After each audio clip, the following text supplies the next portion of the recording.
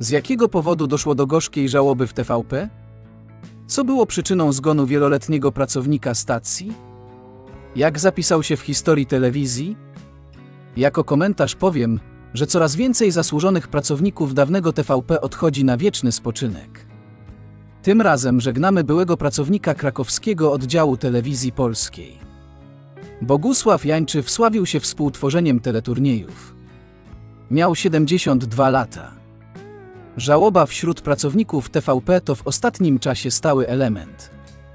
W ciągu zaledwie kilkunastu dni odeszło bowiem kilku kolejnych byłych i obecnych pracowników stacji.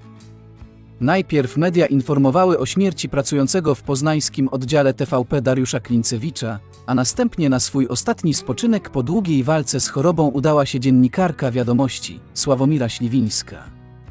Niestety to nie był koniec smutnych wieści w listopadzie. Nie żyje również Bogusław Jańczy z TVP3 Kraków. Mężczyzna zatrudniony przez wiele lat w krakowskim oddziale publicznego nadawcy miał 72 lata i od pewnego czasu przebywał już na emeryturze.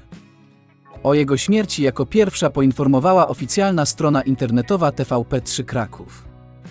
W zamieszczonym tam oświadczeniu możemy przeczytać, że to właśnie za czasów Janczego w byłej stolicy Polski produkowano hitowe koncerty i teleturnieje.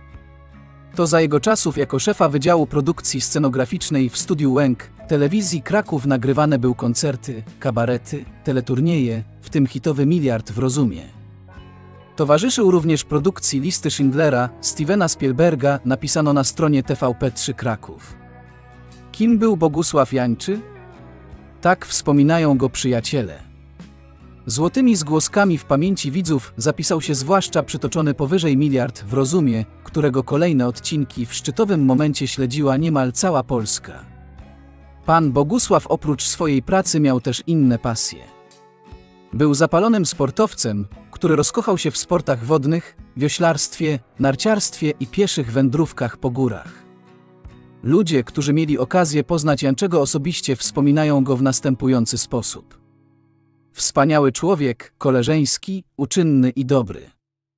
Podkreślają ponadto, że był uzdolnionym fotografem. Pogrzeb odbędzie się 23 listopada o godzinie 12.20 w kaplicy na cmentarzu w Grębałowie. Niestety nie podano do publicznej wiadomości przyczyny jego zgonu. Rodzinie, przyjaciołom i najbliższym składamy głębokie wyrazy współczucia. Dziękuję, że jesteś, subskrybuj kanał, trzymaj się i do usłyszenia.